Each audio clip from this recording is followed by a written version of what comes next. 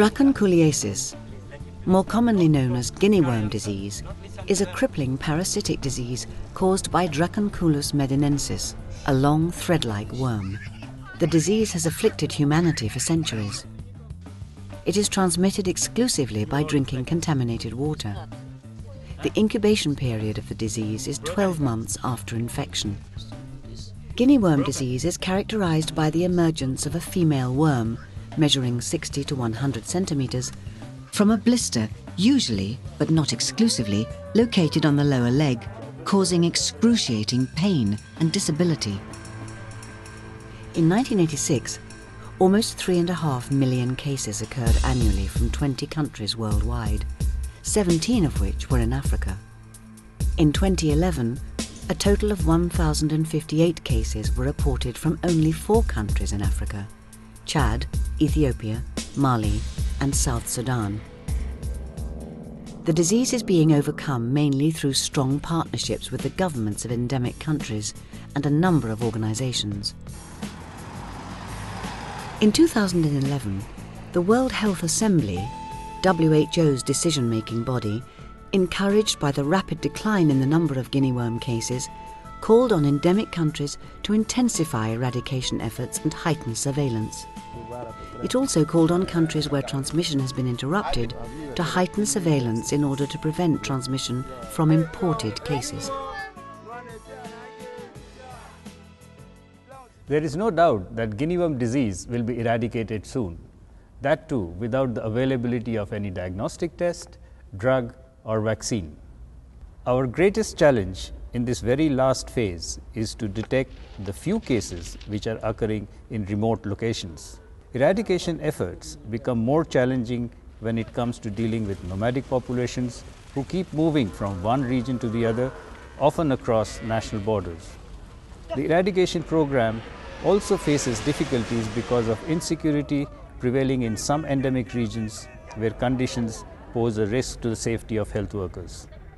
Right now, heightened surveillance and timely case containment is our priority and also the key to success. Heightened surveillance and case containment begin with the village based health worker, who's usually a volunteer trained in case detection and containment.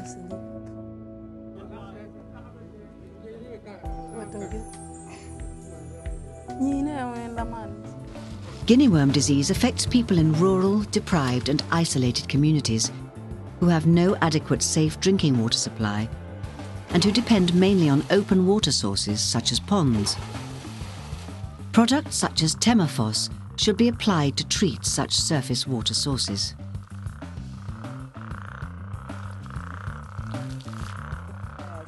Regular supervision and verification of cases are done at village level. All data collected are reported to the regional and eventually to the national level for analysis and dissemination. Early detection of cases, preferably before eruption of the worm or at least within 24 hours of its emergence, is the first step in case containment.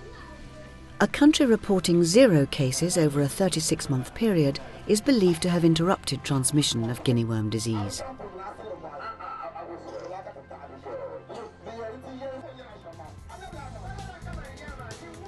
In December 2011, the International Commission for the Certification of Dracunculiasis Eradication recommended that five more countries be certified as free of dracunculiasis Bosnia and Herzegovina, Brunei Darussalam, Burkina Faso, Eritrea, and Togo.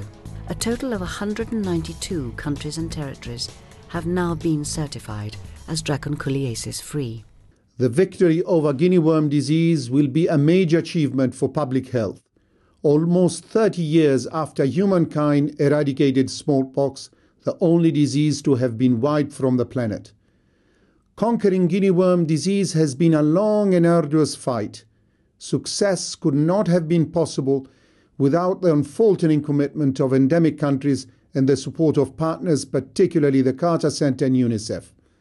The World Health Organization believes in the right of every individual to live a life free of disease. To finish the job, we depend on the continued commitment and support of partners and member states to eradicate guinea worm disease. In order to achieve interruption of transmission, the World Health Organization recommends heightening surveillance and containment of cases, scaling up communication and awareness programs, increasing access to safe drinking water supplies,